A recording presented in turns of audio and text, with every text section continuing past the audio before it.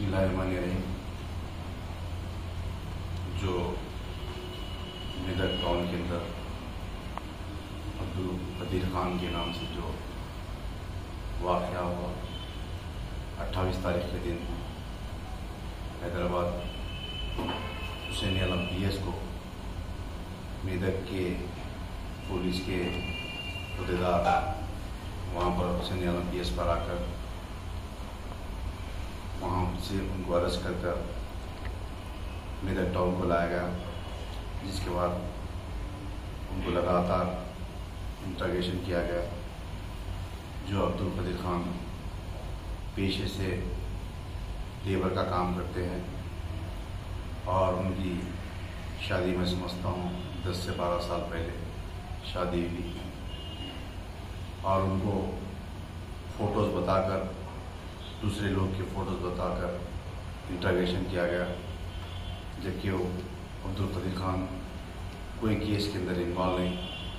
और उनको ये पूछा गया कि ये कौन है और जो बिल्कुल ही जानता नहीं, वो फ़ोटोज़ बताकर इंट्रागेशन किया गया। और उसके बाद, चार दिन के बाद, वो मेदक सरकारी हॉस्पिटल को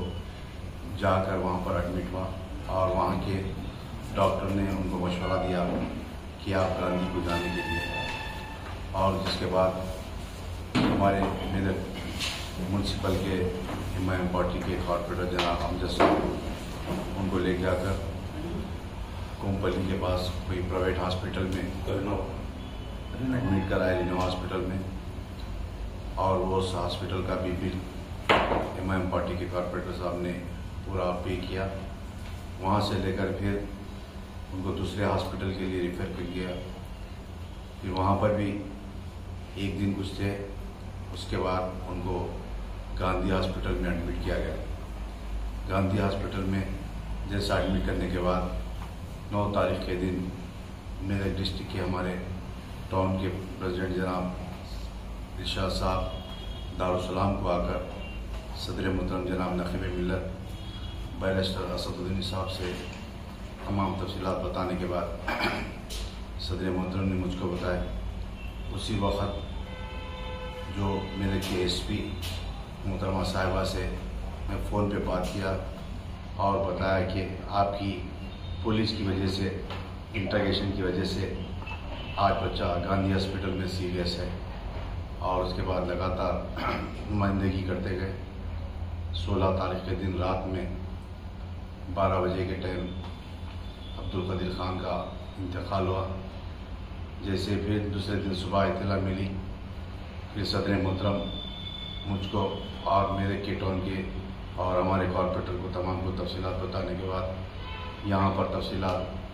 और यहाँ पर डीएसपी से तमाम अहदेदारों से नुमाइंदगी करते गए। मगर जिस वक्त फिर मैं एसपी मैडम से बात किया और उसके बाद एफआईआर कराने के लिए और उनको सस्पेंड करने के लिए डिमांड किया गया। मगर वो सस्पेंड तो नहीं हुए, उनका ट्रांसफ़र किया गया। वख्तिया तौर पर ट्रांसफ़र कर दिया गया। और रात में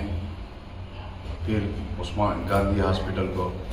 एक बजे से लेकर सुबह चार बजे तक मैं, मेरी जमात के तमाम अहदेदार और ऑफिसर सुप्रिटेंडेंट गांधी से मुलाकात कर कर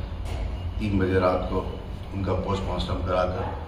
फिर मेदक को भेजा गया और आज सुबह में उनकी तदफीन की गई जोहर से पहले। उसके बाद सदर मोहतरम की फिर हिदायत पर कलेक्टर मेदक से नुमाइंदगी की गई, जिसके अंदर मरहूम के घर वालों को टू बी एच के और एग्जीशिया के ताल्लुक से और कलेक्टर साहब ने तयन दिया कि उनको और डबल बेडरूम के लिए और ख़ास तौर से उनके बच्चों के लिए जो माइनॉरिटी स्कूल्स है उसके अंदर एडमिशन देने का तयन दिया और टू बी एच के का भी तयन दिया गया। और मैं समझता हूँ इन एशिया भी मरूम की बीवी को उनके खानदान को मिलेगा। और सुप्रिटेंडेंट ऑफ़ पुलिस मोहतरमा से मैडम से मिले। उसके बाद उनको तफसीत बताने के बाद जो एफआईआर जो बताया एफ़ को चेंज करने के लिए और ख़ास तौर से एक एस आई दो कांस्टेबल को सस्पेंड करने के लिए और ख़ास तौर से उनके ऊपर प्रेशर डाला गया और उन्होंने तयफुन दिया कि जल्द से जल्द उन तमाम को सस्पेंड करेंगे और उसके बाद एक कमेटी भी फॉर्म की गई इनके ऊपर इंक्वायरी करने के लिए। और मैं समझता हूँ इन अनकरीब के अंदर इन अहदेदार सस्पेंड भी होंगे और इन जो कमेटी आने वाली है जो पुलिस के अहदेदार दीगर मंडल के, चाहे वो डीएसपी लेवल के हो इंस्पेक्टर के हो, मोहतरमा खुद बताए कि टाउन के लोगों से नहीं, बाहर के लोगों से इंक्वायरी कराएँगे और इन उनको सज़ा बिल्कुल मिलेगी। और रहा सवाल, आज यहाँ पिछले जिस दिन से जो वाक़ हुआ, उस दिन से लेकर आज की तारीख तक जो मेरी जमात, आपकी जमात के जो ज़िम्मेदार हैं, जो सदर हमारे टाउन के हैं जो हमारे कॉरपोरेटर हैं मैम के और जो जमात के पूरे मिलकर रात दिन मेहनत करते गए, और आज ये जो वाक़ हुआ रात में, उसके बाद आज तकदीम भी की गई। मैं समझता हूँ इन सदर मोहतरम भी जो बड़े अहदेदारों से और सीएम साहब से, डीजी साहब से भी मुलाकात कर कर इन अहदेदारों के ऊपर और टाउन के जो पुराने सर्कल हो या डीएसपी हो, जो अहदेदार हैं, जो ख़ास तौर से मुस्लिम के तल्ल से जो फ़िका परस्त जहन रखते हैं उन अहदेदारों के ऊपर भी एक्शन लेने के लिए सदर मोहतरम में डी जी से मुलाकात कर कर तफसीत बताएँगे। इन आज मैं खुद कलेक्टर और एस पी से मुलाकात कर कर तमाम तफसीत भी दिया और लेटर बेबाजता लेटर देकर इन अहदेदारों के नाम के साथ में और मरहूम के घर वालों के तल्लु से चाहे टू बी एच के का का जो भी था, हमारा जो डिमांड था कलेक्टर साहब ने तय दिया जल्द करने का तय दिया गया और साथ ही साथ इसी वाक़े के अंदर जो यहाँ के मौजूदा एम एल ए हैं, मोहतरमा, पदमा देवेंद्र जी से भी मुलाकात किया, बात किया, दो तीन मरतबा कल भी बात किया था, आज भी बात किया। और उन्होंने भी तय दिया कि यहाँ पर जो वाक़ हुआ, उसके ऊपर बिल्कुल जो मरहूमिन के लोगों को इंसाफ के लिए मैं भी बात करेंगी मैं भी इन जो हो सकता मदद करने का तय किया और आज जमात के हमारे, जो हमारे कॉरपोरेटर है, जनाब अमजद साहब, जो हमारे सदर है टाउन के इर्शाद साहब और परवेज और मैं समझता हूँ नौजवान, कई जमान लोग, जमात आज मरहूम की नमाज़ जनाजा के अंदर। और मैं इन अल्लाह से दुआ करूँगा कि मरहूमी को मफफरत करे, अल्लाह ताला मफफरत करे और तमाम की हिफाजत करे। और मैं इस मीडिया के ज़रिए आवाम से अपील करता हूँ कि आपकी जमात मेरी जमात के सदर मौसम जनाब नकीम मिलत बैरसर असद साहब की सेहत के लिए, जमात की कामयाबी के लिए और जनाब हबीब मिलत अकबर साहब की सेहत के लिए, उनकी कामयाबी के लिए दुआ कीजिए। शुक्रिया खुदा।